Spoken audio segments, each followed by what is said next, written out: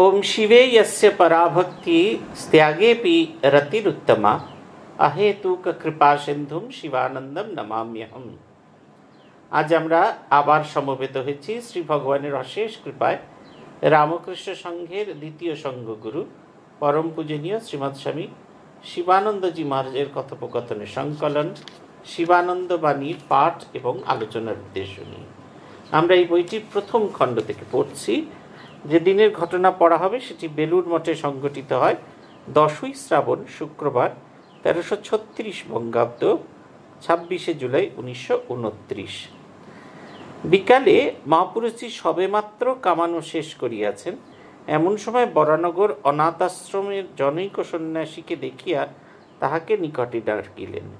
সে কাছে আসিলে দু এক কথার পর তাহাকে বলিলেন, এখন তুমি কি করে চলে যাবে? সব ফিরে আসুক, তারপর না হয় যেও। আর কেনই বা যাবে? ওখানেই কাজকর্ম করেও ঢের সময় পাবে ধ্যান জপ করবার। ও হলো মনের ব্যাপার। মন যদি ভগবানমুখী হয়ে থাকে, তো সর্বাবস্থায় ধ্যান জপের সময় ও সুবিধা করে নেওয়া যায়। চাই আন্তরিক ব্যাকুলতা। যদি এখানে না পারো, তো আর কোথাও পারবে না। ঠাকুর বলতেন, যার হেথায় আছে, তার হেথায় আছে। খুব খাঁটি কথা বাবা। খুব ব্যাকুল হয়ে তাকে ডাকো, প্রার্থনা করো। তিনি ভক্তি বিশ্বাস খুব দেবেন। কেন যাবে?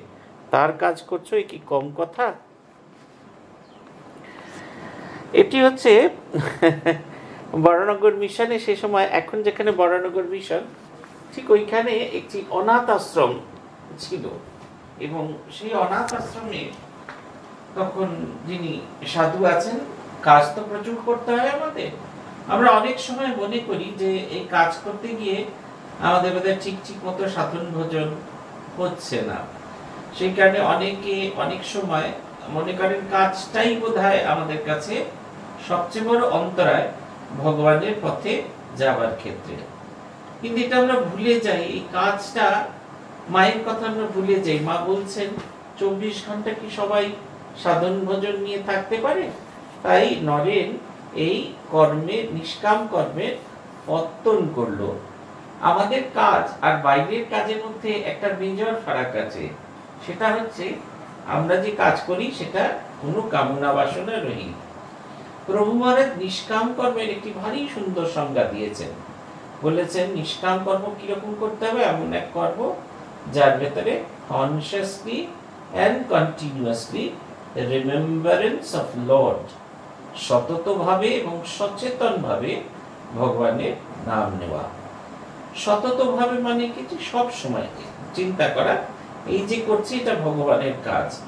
তাহলে দেখবেন কাজ করতে করতেও আমরা ভগবানের নাম নিতে পারব। যে সময়টি ফাঁকা চলেছে, সেই সময়টি কাজ করতে করতে হাতে আমরা কাজ করতে পারি, মনে মনে আমরা ভগবানের নাম নিতে পারি।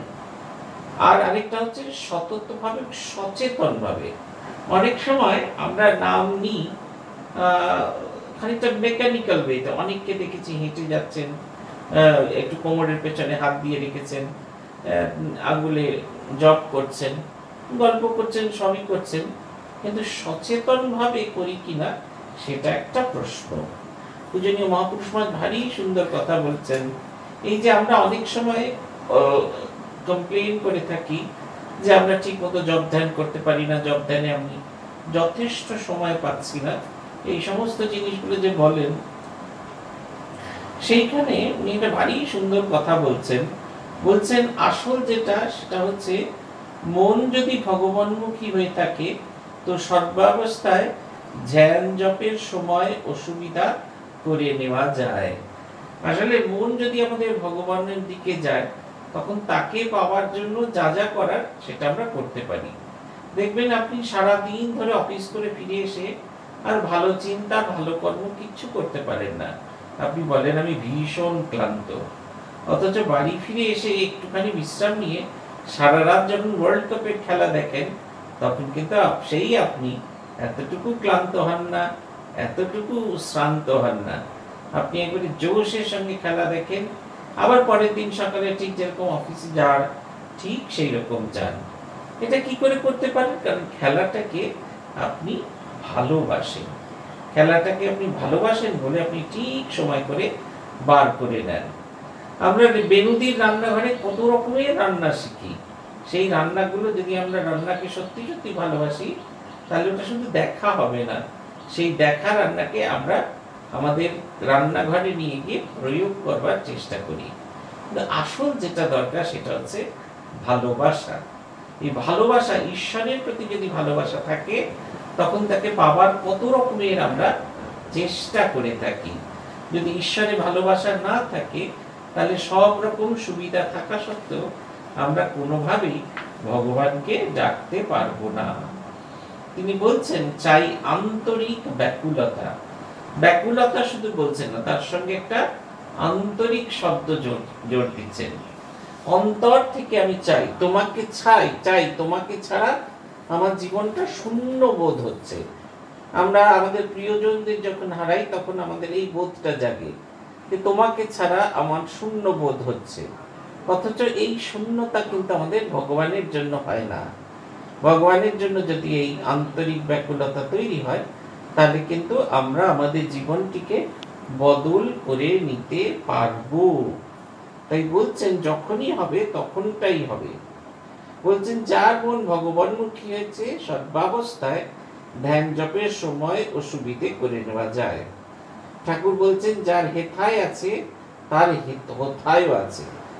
যে এখানে করতে পারে, তার ওখানেও করতে পারে। সর্বাবস্থায় সে ভগবানকেই ডাকতে পারে। এবার বলছেন, ভগবানকে ডাকলে কি হয়? বলছেন, খুব ব্যাকুল হয়ে তাকে ডাকো, প্রার্থনা করো। তিনি ভক্তি বিশ্বাস খুব দেবেন। ঈশ্বরকে ডাকলে, ঈশ্বরকে চিন্তা করলে যত ভালো ভালো গুণ সেগুলো আমার ভেতরে ধীরে ধীরে আসতে থাকে। কিন্তু এই ডাকাটা যেন খুব আন্তরিক হয়। আমি রোজ সকাল সন্ধে মেকানিক্যাল করলেই হয়ে যাবে না। সেদিনকে একজন একটি এই হোয়াটসঅ্যাপে একটি ভিডিও পাঠিয়েছিলেন এবং তার তলায় লিখলেন, মহারাজ, দেখুন, কি সুন্দর ডিভাইস তৈরি হয়েছে। আর কিন্তু আমাদের সাধু ব্রহ্মচারী লাগবে না ঠাকুরের আরতি করার জন্য। ভিডিওটা হলো এই, একটা গণেশের মূর্তির সামনে একটি যন্ত্রকে রাখা রয়েছে। সে নিজের মতো করে একটু একটু করে পরপর পরপর আরতি করছে এবং ঘণ্টা বাজছে, ঠিক মতো আরতি হচ্ছে। যেরকম প্রোগ্রামিং করে দেওয়া আছে, ঠিক সেই রকম প্রোগ্রামিং করছে। কিন্তু ওটা তো মেকানিক্যাল যদি মেশিনের কোথাও গোলমাল হয়, সেই চার্লি চ্যাপলিনের ছবির মতো যে এমন একটা যন্ত্র আবিষ্কার হচ্ছে, সেই যন্ত্রের ভিতরে ঢুকে বসে থাকলেই পরপর পরপর খাবার আসবে। শুধু খাবার আসবে না, একটি করে খাবার চলে যাবে যন্ত্র আপনার মুখ মুছিয়ে দেবে, মুখ ধুইয়ে দেবে, আবার যন্ত্র আপনার মুখ মুছিয়ে দেবে। কিন্তু এই করতে গিয়ে সার্কিটে গোলমাল হয়ে গেল। তখন সেই দেখা গেল, সেই যন্ত্রগুলি যন্ত্রণা দিতে থাকল। চার্লি চ্যাপলিনের অনবদ্য ছবি আমরা দেখেছি। ঠিক সেই রকম জীবনের ক্ষেত্রেও যদি আমাদের আন্তরিকতা না থাকে, যদি আমাদের ভালোবাসা না থাকে তাহলে কিছুতেই হবে না। আবার আরেকটি কথা বলছেন, তার কাজ করছ, এ কি কম কথা? এই বোধটা জায়গা আমি স্বামীজির কাজ করছি। ঠাকুর ভারী সুন্দর একটি উদাহরণ দিয়েছিলেন। সেই মারোয়াড়ি ভক্তদের কথা সে তিনি গেছিলেন বড়বাজারে। বলছেন, তারা যখন সেই মোর মুকুটধারী মানে শ্রীকৃষ্ণের মূর্তিটি কাঁধে করে নিয়ে যাচ্ছে, তখন তাদের দেখে ভারী ভালো লাগছিল যে তারা যেন একটা, তাদের ভিতরে একটি অহংকার কাজ করছিল যে আমরা সেই মোর মুকুটধারীকে কাঁধে করে এক জায়গা থেকে আরেক জায়গায় নিয়ে যাচ্ছি। ঠিক ওই রকম এই আত্ম অহংকার আসা দরকার যে আমি ভগবানের সেবক এই জগৎ সংসারের কোনো কিছুতেই কোনো কিছু আমাকে বাধা দিতে পারে না। আপনারা যদি সত্যি সত্যি এটা করতে পারেন, দেখবেন শক্তি আসবেই। আমরা যখন এখানে প্রথমে এই সাগর দ্বীপে কাজ করা আরম্ভ করলাম, মানুষের জন্যই কাজ করা করছি, আমরা মানুষের সেবাই কাজ করছি। তা সব মানুষের কাছে তো সেবা পৌঁছানো সম্ভব নয়, কারণ আমাদের প্রত্যেকের ফান্ড লিমিটেড আর শক্তিও লিমিটেড এই যতজনের কাছে পাওয়া যা পারা যাচ্ছে, ততজনের কাছে যাওয়া হলো। এই নিয়ে এক সাধারণ মানুষের সাধারণ মানুষ নয় মধ্যে ভীষণ একটা কষ্ট হতে থাকল। কারণ আমরা বেশিরভাগ মানুষের কাছে যাইনি। অনেক আমরা আমাদের সাধ্যমতো মানুষের কাছে গিয়েছি। তারা সমালোচনা করলেন, ধিক্কার দিলেন, নিন্দা করলেন সব কিছু করলেন। আমরা কিন্তু এই নিয়ে একেবারেও ফিরে তাকাইনি। আমরা আমাদের মতো কাজ করা শুরু করলাম। আমাদের যখন স্কুল তৈরি করা শেষ হয়ে গেল, তখন এই মানুষরা যারা সমালোচনা করছিলেন, যারা ধিক্কার দিচ্ছিলেন, তারাই কিন্তু এর প্রশংসা করতে শুরু করলেন। যখন একসঙ্গে অতগুলি ছেলেকে ছেলে মেয়ের একটা স্থায়ী বিদ্যালয়ের ব্যবস্থা করা হলো, তখন এটা হলো। এই যে প্রশংসা, এই যে আমাদের লোকের নিয়ে লাফালাফি করছে, এটা কিন্তু আমাদের কৃতিত্বে নয়। ভগবানের কাজ করছি বলে। আমার মনে আছে, আমরা যখন সাধ্য সাধু হতে এসেছি, আমার অধ্যক্ষ ছিলেন স্বামী অমলানন্দজি মহারাজ। যখনই ওই খামের ওপর নাম লেখা হতো, আমরা যদি কেউ ভুল করে এসআর কে মিশন শিল্পপীঠ কথাটা লিখেছি, তাহলে উনি খুব অসন্তুষ্ট হতেন। বলতেন এসআর কে মিশন বলে কিছু নেই, শ্রীরামকৃষ্ণ মিশন শিল্পপীঠ ওই প্রতিবার পুরো কথাটা লিখবে এবং মনে মনে উচ্চারণ করবে সব সময় বোধ করবে যে তুমি শ্রীরামকৃষ্ণের সেবক। যেরকম আগেকার দিনে সিল মারা হতো, রাজা সই করে দেওয়ার পর সিল মারা হতো, তাতে সেই রাজার নাম খোদাই করা হতো, ঠিক সেই রকম বলছেন এ যুগে সিল মারা হয়নি। এ যুগে তুমি টাইপ করে এই কথাটা লিখছো। ওটা একবারে পারমানেন্ট সিল, যতবার টাইপ করবে, ততবার মনের ভেতর যেন জাগে, আমি শ্রীরামকৃষ্ণের সেবক। সন্ন্যাসী কা যখন তখন যা তা বলে, এই বলিয়া সন্ন্যাসীটি কাঁদিতে লাগিলেন। মহাপুরুষজি, আমারও তাই মনে হয়েছিল যে তোমাদের কিছু একটা হয়েছে। কেন সে যা তা বলে? তুমি তো তেমন লোক নও, আমি খুব জানি। তুমি তো নির্বিবাদী লোক, নেহাত ভালো মানুষ। তা কাকে এখানে একবার পাঠিয়ে দিও না? আমি বুঝিয়ে বলে দেব। তুমি বাবা কিছু মনে করো না, আর কি জানো? পাঁচটা হাড়ি এক জায়গায় নাড়াচাড়া করলে একটু ঠোকাঠুকি হয়। তার আর কি করবে বলো? এমনও হয়, আবার চলেও যায়। এক হাতে তো আর তালি বাজে না, ও বলুক না, তুমি সব সয়ে যাবে। তবেই তো গোল মিটে গেল। তোমাকে একটু বেশি সহনশীল হতে হবে, একটু স্যাক্রিফাইস করতে হবে। তোমরা ঠাকুরের জন্য দেহ, মন, প্রাণ সব দিয়েছ। তার জন্য সব ছেড়ে চুড়ে এসেছ। তার কাজের জন্য এটুকু করতে হবে। তুমি সব সয়ে যাও, খুব স্যাক্রিফাইস করে যাও তাদের কাজের জন্য। প্রভু তোমার অশেষ কল্যাণ করবেন। দুই সাধুর মধ্যে মত বিরোধ হয়েছে এবং সেই মতবিরোধ এত তীব্র হয়ে গেছে যে আরেকজন যিনি এসছেন এখন মহাপুরুষ মানে তিনি সব ছেড়ে চুড়ে চলে আসতে চাইছেন। কি সুন্দর মহাপুরুষ মানুষ তার দিচ্ছেন, বলছেন, পাঁচটা হাঁড়ি পাশাপাশি থাকলে সেখানে ঠোকাটুকি হয়, তাই বলে তো হাঁড়ি ছেড়ে এলে হবে না।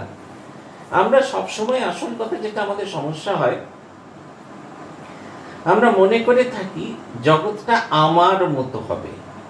যদি একবার নিজেদের দিকে তাকিয়ে দেখি, তাহলে যদি দেখি, তাহলে দেখবেন আমরাই আমাদের মনের মতো নই।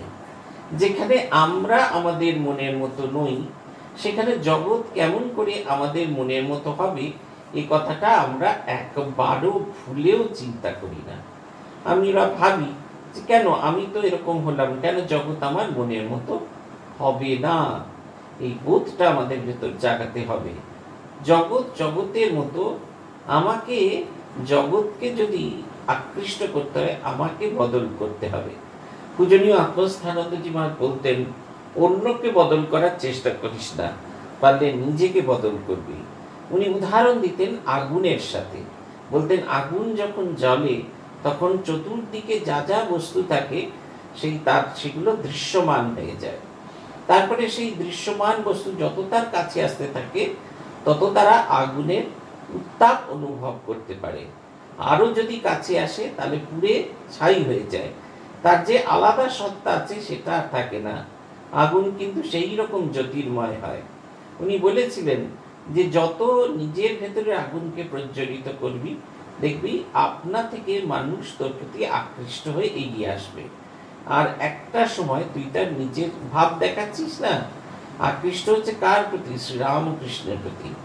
এবং সেই শ্রীরামকৃষ্ণের ভাব তোর ভেতরে যত জাগাবি, তারাও একটা সময় তোর কাছে এসে নিজেদের ভাবকে ভুলে শ্রীরামকৃষ্ণের ভাবে ভাবিত হয়ে যাবে।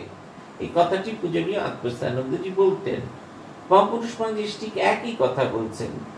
বলছেন স্যাক্রিফাইস করার কথা। একটা বড় কাজ করতে গেলে আমাদের কত স্যাক্রিফাইস করতে হয়?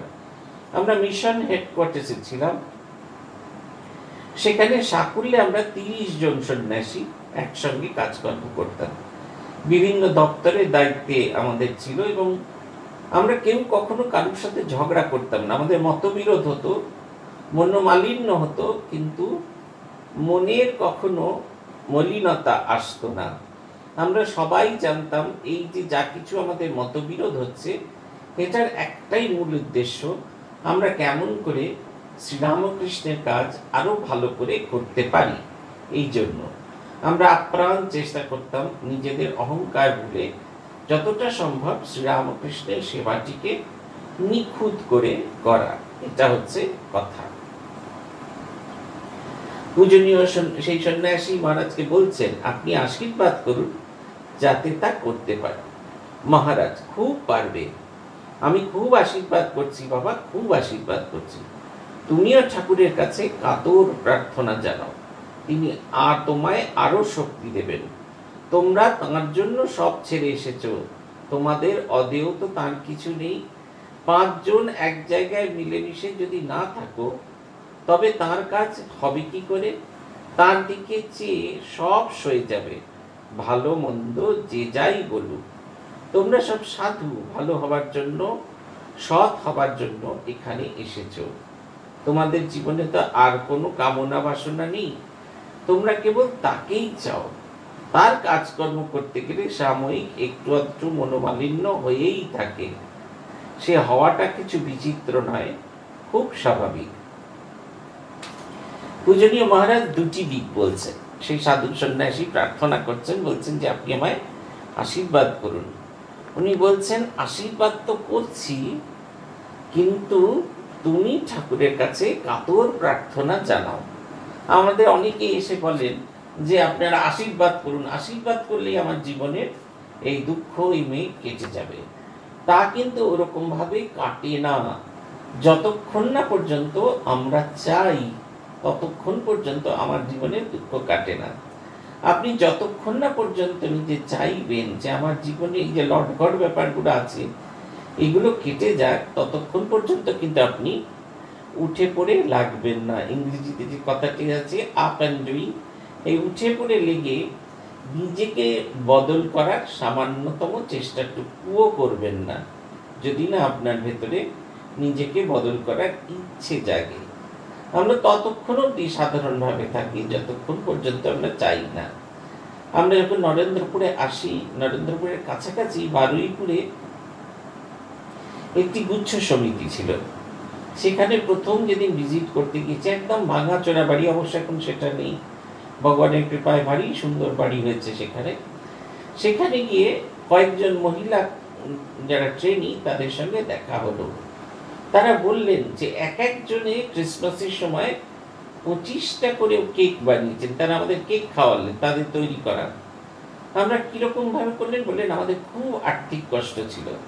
অবশেষে আমরা এখানে ট্রেনিং নিতে আসি। ট্রেনিং নিয়েই শেষ করিনি, আমরা নিজেরা নিজেরা ঠিক করলাম। আমাদের তো ব্র্যান্ডেড কেক নয়, আমরা বাড়িতে কেক বানাবো, সবাই মিলে একসঙ্গে। ওই যে আটজন, দশজন মিলে সবাই মিলে একসাথে। সবাই মিলে একসাথে করাতে কি হলো? সকলের মানে সম্মিলিতভাবে কাজটা হচ্ছে। ধরুন পাঁচজন, ছজন মিলে শুধু ব্যাটারটা তৈরি করছে। তিনটে, চারটে কেকের ব্যাটার একসঙ্গে তৈরি হয়ে গেল। দুটো আভেনের ভেতরে পরপর পরপর সেগুলোকে দেওয়া হচ্ছে। যেমন যেমন সেটি বেকড হয়ে যাচ্ছে, সেটিকে বার করে নিয়ে আবার পরেরগুলো দেওয়া হচ্ছে। বেকিং হয়ে যাওয়ার পর সেটাকে ঠান্ডা হলে প্যাকিং করা। শুধু প্যাকিং করাই নয়, বাড়ি বাড়ি গিয়ে সেগুলোকে বিক্রি করার চেষ্টা। এইটা একটা বড় চেষ্টা তারা করতেন। বলছেন, প্রথম দিকে আমাদের প্রত্যেকের বাড়ি বাড়ি গিয়ে আমাদের চেষ্টা করতে হতো। কিন্তু এখন মানুষ জেনে গেছেন, আমাদের আর বাড়ি বাড়ি বিক্রি করতে হয় না। এখন একজনের বাড়ি ঠিক করা আছে, যেখানে আমরা সবাই মিলে করি এবং সেইখানেই মানুষজন আসেন এবং আমাদের কাছ থেকে কেক নিয়ে যান। বলছেন, আমরা কাজ করতে গিয়ে প্রথমে কত রকমের বাধা এসছে, কত মনোমালিন্য এসছে, কিন্তু ধীরে ধীরে ধীরে ধীরে আমরা সেটাকে অতিক্রম করেছি। সঙ্গবদ্ধ কাজের এই একটা ড্রব্যাক বা মাইনাস দিক আছে, সেটা হলো এই যে অনেক সময় মনোমালিন্য হওয়ার ফলে আমাদের যদি ইগোটা খুব বেশি থাকে তাহলে আমরা সেই কাজটা ছেড়ে চলে যাই। আমরা বলি, ও, আমার কথা শোনা হচ্ছে না। ঠিক আছে, মরগে যাও। আমি তোমাদের এই বিষয়ের মধ্যে নেই। এইরকম যদি মনোভাব হয়, তাহলে কিন্তু আমরা কোনো কাজ করতে পারব না। এই মনোভাব তখনই চলে যায় যখন আমরা সমস্ত কাজ ঈশ্বরের উদ্দেশ্যে, ঈশ্বরের পূজা হিসেবে গ্রহণ করে থাকি। ভারী সুন্দর বলছেন যে আসে, আবার চলে যায়। তোমার ভিতরেও এই যে মনোমালিন্য হওয়া, এটা স্থায়ী নয়। এটা আসে, আবার চলে যায়। কারণ তোমাদের জীবনের লক্ষ্য হলো ভগবান লাভ। তোমাদের মধ্যে এসব ক্ষুদ্র রাগ, দেশাদি আসতে পারে না। এ তো আমাদের ধারণা। এই রাগ, দেশাদিকে তিনি ক্ষুদ্র বলছেন। ক্ষুদ্র কেন? না, এইগুলো স্বাভাবিক নয়। এগুলো অস্বাভাবিক। এগুলো আসতে পারে, কিন্তু এটি যে পারমানেন্ট হবে তা কিন্তু নয়। আমাদের এটা বুঝতে হবে যে এই কাজ, ভগবানের কাজ করতে গিয়ে আমার মতবিরোধ হচ্ছে। আমি আমার বিষয়টা সকলকে বোঝাতে পারছি না। কিন্তু অনেক সময় কি হয়, আমরা দেখেছি আমাদের নিজেদের আত্ম অহংকারের জন্য। আমরা মনে করি যে আমার কথাটা না শোনা হলেই বোধহয় সব ভুল হয়ে গেল। কিন্তু একটু মাথা ঠান্ডা করে যদি আমরা লক্ষ্য করি, তাহলে দেখতে পাবো যে আমাদের আত্ম অহংকার এত তীব্রভাবে আমাদের জীবনে এসেছিল যে আমরা কিছুতেই আসল জিনিসটাকে দেখতে পাইনি। কোনটা ভালো, কোনটা মন্দ এই আত্ম অহংকার আমাদের ভুলিয়ে দেয়। আমরা বুঝতে পারি না বলেই আমাদের জীবনের যাবতীয় সমস্যা হয়। আমরা যদি জীবনটাকে খুব উঁচু সুরে বেঁধে ফেলি, তাহলে দেখবেন এই সমস্ত ছোটোখাটো বিষয়গুলো আর আমাদের সেরকমভাবে আর আক্রান্ত করে না। কি সুন্দর কথা বলছেন। বলছেন, আর এই যে সব সেবা কর্ম করছ, সবই সেবা জ্ঞানে করছ কিনা? এতে তোমাদের মন শুদ্ধ হয়ে যাচ্ছে দিন দিন। এতে তোমাদের স্বার্থবুদ্ধি মোটেই নেই। তবে কি জানো, কাজকর্মের সঙ্গে সঙ্গে নিয়মিত সাধন ভজন করতে হবে। যখনই সময় পাবে বসে জপ করবে, তার ধ্যান করবে আর প্রাণ ভরে প্রার্থনা করবে। যখনই মনে কোনো রকম দুর্বলতা বা অভাব বোধ আসবে, তখনই ঠাকুরকে জানাবে। খুব ব্যাকুল হলে, ব্যাকুলভাবে ডাকলেই তার সাড়া পাবে, তার নাম খুব করবে। নামে দেহ মন শুদ্ধ হয়, মনের ময়লা ধুয়ে যায়। তোমরা সাধু হওয়ার জন্য সব ছেড়ে ছুড়ে এসেছ। ভগবান লাভই হলো বাবা তোমাদের জীবনের উদ্দেশ্য। তোমাদের উদ্দেশ্য হলো তুল্য নিন্দা, স্তুতির মৌনী, সন্তুষ্ট ইয়ে না কে চিত নিন্দা, স্তুতিতে সমভাব, নীরব থাকা এবং যা জোটে তাতেই সন্তুষ্ট হওয়া। এই অবস্থা। তোমরা তার ভাবে থাকবে। কে কি বলল, না বলল, তাতে তোমাদের কি একটা জিনিস খুব পরিষ্কার, মহাপুরুষ মহারাজ যেটা বলতে চাইছেন, সেটা হচ্ছে এই, আমাদের যেন এই বোধটা খুব তীব্রভাবে জাগতে থাকে। কোন বোধটা? এক নম্বর, সেটা হচ্ছে যে আমরা ভগবানের কাজ করছি, আমাদের লক্ষ্যটা, আমাদের উদ্দেশ্যটা যেন ভগবান কেন্দ্রিক হয়ে যান। এই যে বারবার যা কিছু বলছেন বলছেন কোনো অভাব হলে ভগবানকে গিয়েই বলবে, ঠাকুরকে গিয়েই বলবে। কোনো সমস্যা হলে তাকে গিয়েই বলবে, তার কাছে শক্তি প্রার্থনা করবে। এই যে বোধটা জাগানো যে আমার আর কেউ নেই জগৎ সংসারে, আমার তিনিই আছেন। ছোট ছেলের পেছনে আমরা যখন লাগি, ছোট ছেলে বলেন যে মাকে বলে দেবো, সে নিশ্চিত নিশ্চিত করে জানে তার মা ছাড়া আর দ্বিতীয় কেউ নেই যাকে সে বলতে হয়। এই ভগবানের প্রতি আমাদের যতক্ষণ না এই বোধটা জাগে যে তিনি ছাড়া এই জগৎ সংসারে আমার কেউ নেই। এই বোধ যতক্ষণ না আসবে ততক্ষণ পর্যন্ত আমরা এই নানা দিকে চড়িয়ে, ছিটিয়ে ঘুরে বেড়াতে থাকব। এটা আমাদের বদল করতেই হবে। এই বোধটা আমাদের জাগাতেই হবে। এবং যতক্ষণ না পর্যন্ত আমরা এই বোধটা জাগাতে পারব, ততক্ষণ পর্যন্ত আমাদের জীবনের অন্তহীন সমস্যা এসে উপস্থিত হবে। এটা হচ্ছে কথা। এই বোধটা আমাদের মধ্যে জাগাতেই হবে। যতক্ষণ না ভগবানকে আমরা আঁকড়ে ধরে থাকতে পারছি, যতক্ষণ না পর্যন্ত আমরা ভগবানকে জড়িয়ে ধরে থাকতে পারছি, ততক্ষণ পর্যন্ত আমাদের সমস্যা হবে। আমরা যখন সাধুতে আসি, পূজনীয় প্রেমিয়ানন্দজি ভারী সুন্দর কতগুলো কথা বলেছিলেন। বলেছিলেন, আজ থেকে তোমার ইচ্ছা অনিচ্ছা বলে কোনো কিছু নেই। আজ থেকে সঙ্গের ইচ্ছা, সঙ্গের অনিচ্ছা সেটাই তোমার ইচ্ছা এবং অনিচ্ছা। তোমার ভালো লাগা, মন্দ লাগা কিচ্ছু সেখানে কাজ করবে না। সংঘ যে আদেশ করবেন, সেই সঙ্গের সেই আদেশ প্রাণপণে প্রতিপালন করার চেষ্টা করবে। কারণ তা যদি না করো, যেহেতু সংঘ হচ্ছে শ্রীরামকৃষ্ণের শরীর, তুমি শ্রীরামকৃষ্ণের সিদ্ধান্তকে চ্যালেঞ্জ জানাচ্ছ। এই বোধটা তিনি আমাদের ভেতর ভীষণভাবে জাগিয়ে দিয়েছিলেন। ঠাকুরকে আঁকড়ে ধরে থাকো, পূজনীয় মহারাজ বলেছিলেন, ঠাকুরকে আঁকড়ে ধরে থাকো এবং তাকেও বলো তিনিও যেন তোমাকে আঁকড়ে ধরে থাকেন। ভগবান তো আমাকে আঁকড়ে ধরবেনই, কিন্তু যতক্ষণ না পর্যন্ত আমি তাকে আঁকড়ে ধরি, ততক্ষণ হয় না। দেখবেন যখন আলিঙ্গন হয়, একজন আরেকজনকে আলিঙ্গন করছেন। প্রথমজন, দ্বিতীয়জনকে যখন একবারে খুব জড়িয়ে ধরে করেন, দ্বিতীয়জন তার প্রথমে রেসিপ্রোকেট না করতে পারলেও আস্তে আস্তে তাকে ঠিক ওই রকম ইংরেজিতে যেটা বলে টাইট হাগিং তিনি ওই রকমভাবে তাকে আলিঙ্গন করেন। আমরা যতক্ষণ না পর্যন্ত ভগবানকে এরকম টাইট হাগিং দিতে পারব, যতক্ষণ না পর্যন্ত তাকে আন্তরিকভাবে জড়িয়ে ধরতে পারব, ততক্ষণ পর্যন্ত আমাদের সমস্যার কোনো সমাধান সূত্র আসবে না।